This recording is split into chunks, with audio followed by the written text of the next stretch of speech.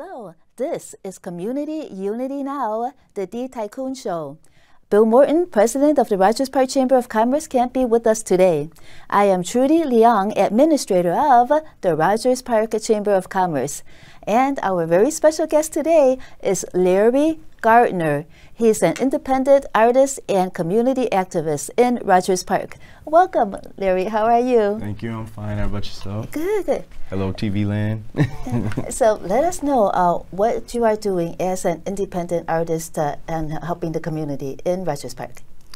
Uh, well, I like to take, you know, kind of my own experiences uh, to relate to, you know, the dynamic of violence growing in the younger community. Uh, there is a disconnect uh, between the you know generations, so they need guidance. And the way that I see fit is to kind of meet them on their playing ground, meet them on their level, and what better level than that is entertainment. Mm -hmm. And uh, music is a language that speaks uh, to everyone. Yes, it's universal. It's universal. So sometimes you might see uh, like violence in uh, in the language of the music. Uh, do you uh, try to steer the youth away from that and into something else? Well, yes. it seems that more youth are angrier uh, these days, and again, lost. They don't seem to have like a grasp on where they want to go or even how to get started with it. So uh, being again meeting them on their playing field, being able to kind of relate, find something that is going to be a common denominator or a basis, and from what that is, it seems like music. Uh, hence, you know, kind of the rise and the different, you know, topics and stuff that goes on with the music these days. Um, it's kind of it's kind of just you know putting a smokescreen over their bigger issues at hand, and it's kind of time to just start, you know, helping the youth get a grasp on certain realities and being able to be as strong as they need to be to get through that. I know it's easier said than done, but again, meeting them on their playing field and being able to make it a little bit more digestible for them is the idea. You mean the issues that they are facing in their life that make yes. it more digestible and then have yes. them uh, uh, concentrate, uh, maybe even apply those issues to their music? Yes, yes. Uh, artist development, uh, uh, being able to create a hub, a network uh, for that to happen is kind of where we're leaning to. Uh, being able to, again, have something a little bit more constructive for the youth these days instead of, you know, not giving them something to actually create a hobby or even some type of career behind because, again, know, I would me myself, I wouldn't consider work work if you love doing what you're doing every day. So, uh, being able to show them different things and and in different ways to network and uh, be creative, you know.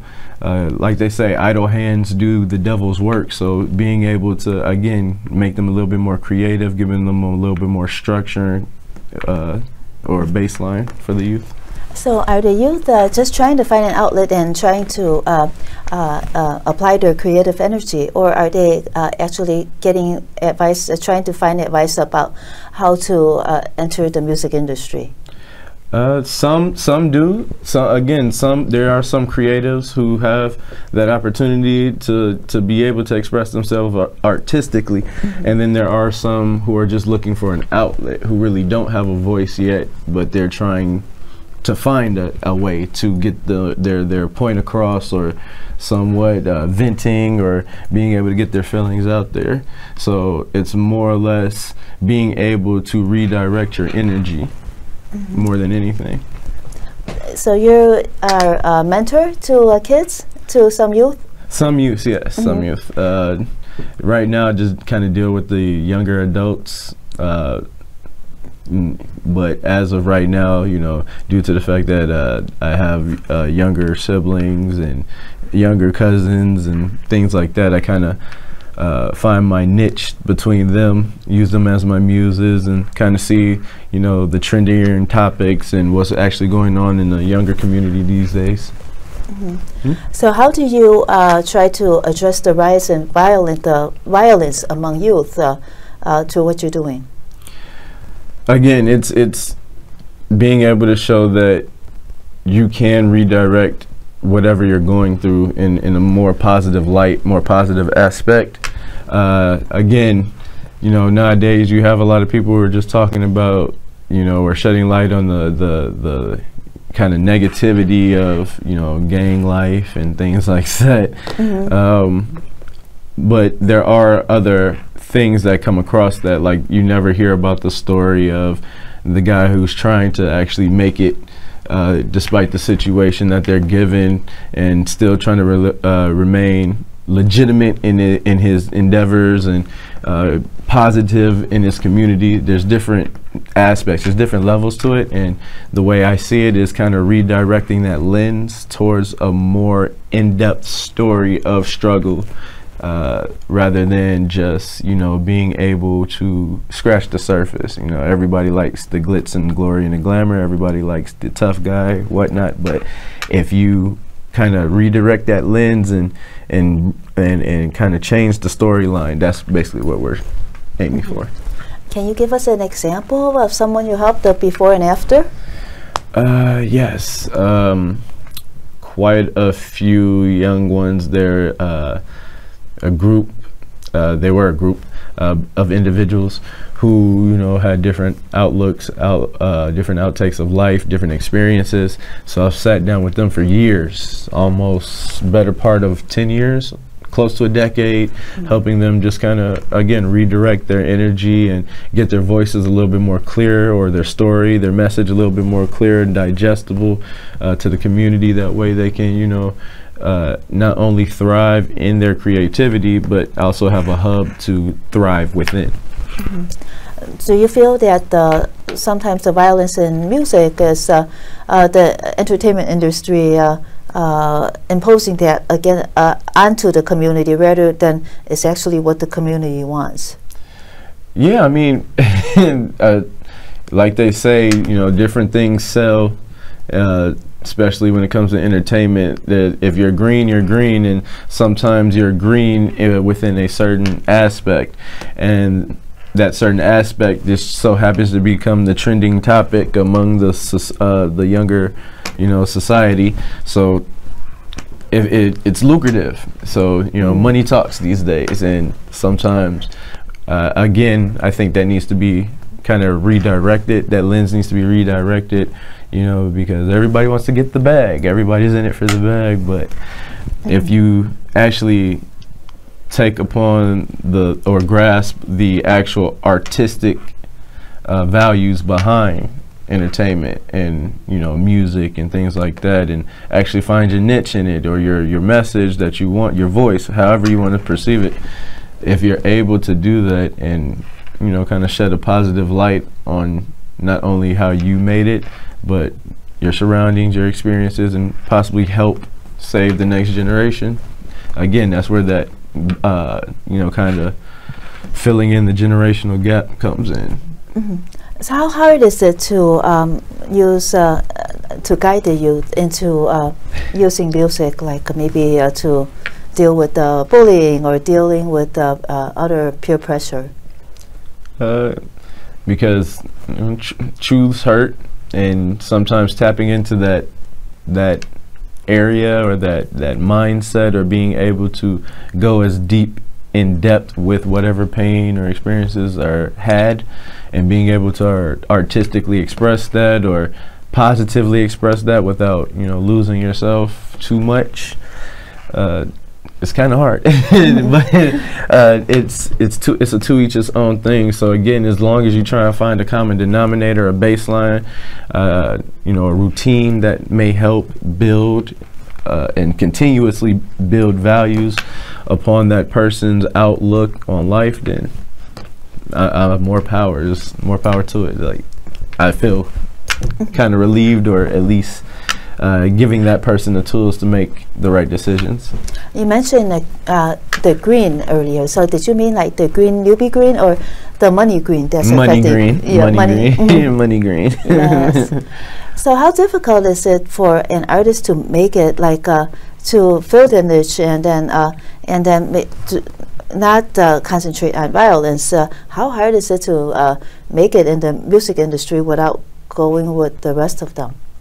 It's hard because you know, again, if something's green, if something's trending, sometimes they don't want you to stray away from it and they want you to ride it out as long as possible and get as much money as possible and then you can turn around and do what you want. But sometimes people lose themselves in that aspect as well and then it's kind of hard to come back or get back to what they usually do or how they usually were uh, because they're so either so used to the lifestyle or they're so used to the music and how it kind of makes them feel sometimes, which is a good thing. But is it really something that you want uh, long uh, long term? Mm-hmm. So building art, positive artistic longevity is, is a is a, like a fair direction that we're headed. Uh, so being able again being able to build within the aspect of generating positive energy and laying that groundwork and building that hub or that network for others to kind of follow through so losing yourself you meant like uh, uh, losing the values and then mm -hmm. going with the flow in order to make money and it's hard to come back after after uh, uh, kind of losing a part of your soul. Is that what you yes, meant? because money, yeah, money, uh, money is the root of all evil. To me, well, to me, to each his own. Because to me, money is, you know, you it gives you the fork in the road option. You know, you can either go this way and uh, you sacrifice your morality, your your your your your uh, principles and things like that, or you can go this way and kind of you know take the road less traveled, and even those may be a little bit harder to pursue. At, at the end of the day, is anything that is harder to acquire is worth acquiring because at that point in time becomes an asset not only to you but to the network or the environment or the message you're trying to bring. So it's the group that uh, you're trying to mentor and then uh, trying to get, uh, get help them uh, uh, achieve their art. So, so, would they need to uh, go go with become independent artists instead of like record label artists? Because it seems as if what what you're suggesting would not be would not be uh, saleable, but uh, it's something that is a niche that uh, that you have to be patient to build. Is that what you're trying to do? Yes, it's a it's, it's it takes patience to build something worth having, and uh, my motto is don't don't don't stagnate yourself. Don't don't be stagnant uh, because of other people's views, but also don't be uh, don't not be a risk taker because of other people's views. So in term, it's uh, it's more of of again finding your niche, understanding who you are as a person, and then growing within that aspect, uh, and and and you know being able to to solidify yourself in what you're doing and, and making it lucrative. You can still do so. Again, it, it, it takes time. It's a, a road less traveled.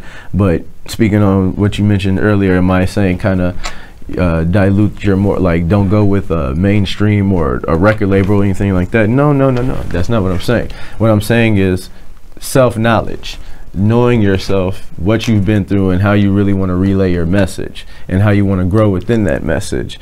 Uh, sometimes, you know, you can you and you can do that with a major label. You can. and You just gotta uh, first of all do your homework.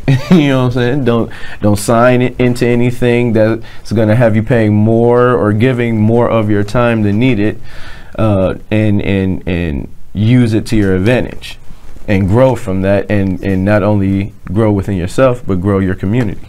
Mm -hmm. So how do you find like-minded artists like you to uh, with whom to work and uh, with whom to work and uh, uh, do you have uh, fellow artists that uh, are, also trying to help uh, youth? Yes slight few. I have a slight few right now. It's, it's still growing. It's still in the works you know. Like-mindedness is not as common these days. So especially during the covid era you know but I digress. The the main focus really is the people who I have now again are just a few of the building blocks needed to to to execute the goals and at least start the race you know uh, it, the finish line is still sought you know, but but it's still light at the end of the tunnel. It's still light at the end of the tunnel. It's just, you know, the race is still going. The marathon continues. Uh, not to take. I hope that's not a disclaimer or anything, but yeah, the marathon continues. How did you decide to uh, take this road and uh, to do what you do? What Uh, happened? again, like mindedness. Uh, I figured like okay, so I grew up in the time. Uh, you know, I'm an '80s baby, so I grew up in the '90s, late '80s. So you know, you knew I grew up around in the time where you had to fight, where you had to at least be strong enough to to get through the day and and you know at least do what you had to do, you know, to to become successful. So you know, with that, I, I was uh, me saying that though. Going further, I wasn't like in the streets or anything, but you know, I was I was still a a wise a, a, a whiz kid, a wise guy, if you would. so uh, me and my friends, we would still be out, and you know, s- what came with that territory came with that territory. Um, so uh, again, just taking those experiences and kind of relay, putting myself, empathizing with some of these younger artists and putting myself in their shoes, kind of, um, or at least understanding the dynamic of the situation in which they're in, and kind of finding again that common denominator to where whatever I'm saying is a little bit digestible to them. I don't like being too preachy, but at least at least what I'm saying it, it gets through to you in a positive manner. When uh, that was uh, almost my next question. Uh, how, uh, how how hard is it to reach the youth? Uh, what, what, what's your advice? Uh, is it uh, is is what you're saying very far from uh, what they what they believe in, or is it uh, or is it uh, what they uh, are, are you able to like uh, maybe touch what they are actually hoping? You, from what I can see nowadays, the youth just needs a voice and direction, a voice and direction, uh, uh, a baseline for them to be able to create or become who they, you know, want to solidify themselves to be in a positive manner, uh, and, and grow and and and and pass on that positivity. Uh, the disconnect between the youth and, and the older generations uh, is a problem because you know you, you never one would never understand the other one would never experience what the other experienced uh, so there's just a big generational disconnect. Uh, don't live in the past and stuff like that YOLO stuff and all that like I, I mean I, I, I hear it is good for party scenes it's good for you know the the just the the baseline scratching the surface but you know without you know the sayings that if you don't at least pay attention to the past you're doomed to repeat it in the future. Mm-hmm. Okay?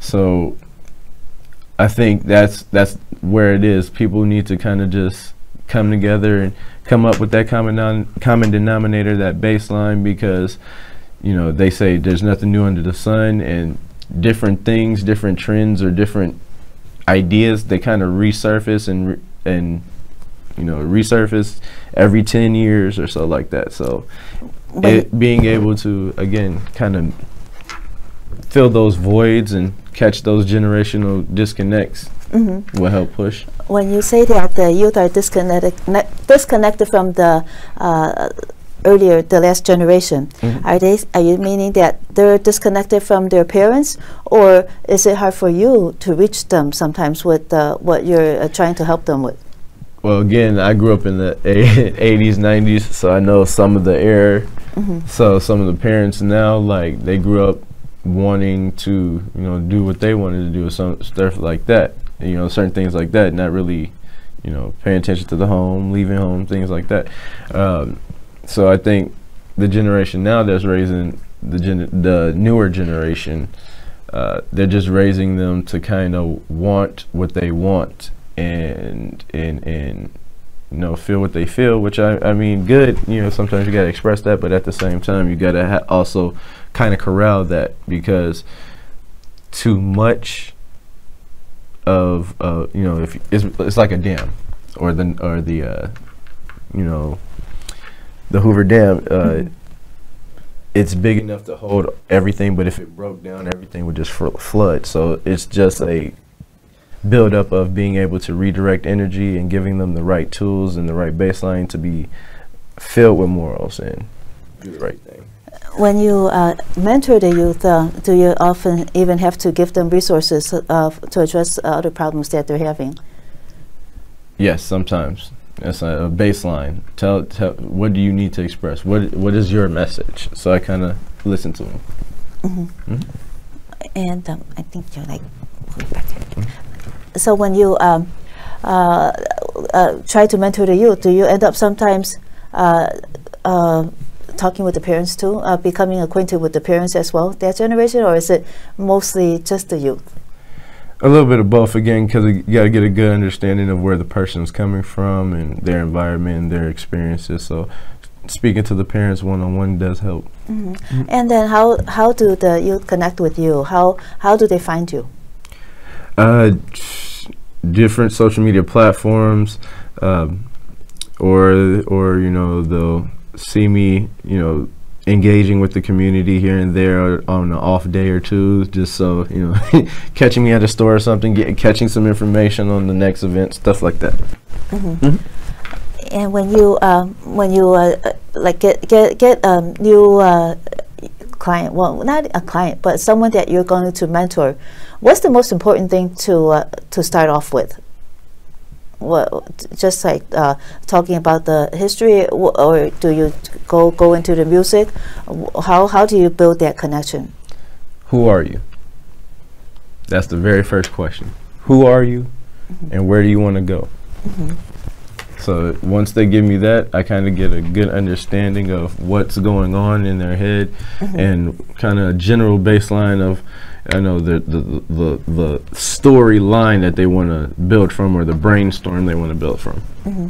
And is that the uh, the the uh, like the plot of uh, what their art will be, and the uh, and how how you uh, structure how you're going to mentor them? Yes, because everybody is. T- uh, everybody learns different. Some people learn on the fly. Some people learn uh, uh, formatically. So just being able again to find that niche, that common denominator for me to be able to express or get information or at least find some type of common ground and make it a little bit more digestible. What about older artists like uh, non-youth? Do they come to you for help as well? Yes, they do. So I do have a few people who I'm working with who are wanting to uh, rejuvenate or reboot themselves back again. So yes. So are they uh, like you, uh, trying to like uh, be be a, a, positive influence? Is uh, is that how uh, you connect with uh, with like-minded people? Are they like you positively uh, inclined? Positively, positively inclined. Yes, yes. Different messages. Yes. The are all of our messages the same? No. mm. Are all of our messages digestible in certain ways? No. But the common denominator is the positivity behind it is is the, the focus. And how hard is it to find an audience uh, for for this positivity? Uh, still going. It, it takes time. Uh, still going. The the audience is uh, audience is broad, and we're living in the, the microwave generation where everybody's attention span is like this. So, uh, being able to uh, relate or create content that will build uh, a good focal point for the people or make it digestible for the people as well mm-hmm. is, is what we're doing. That's why we do the different content different times.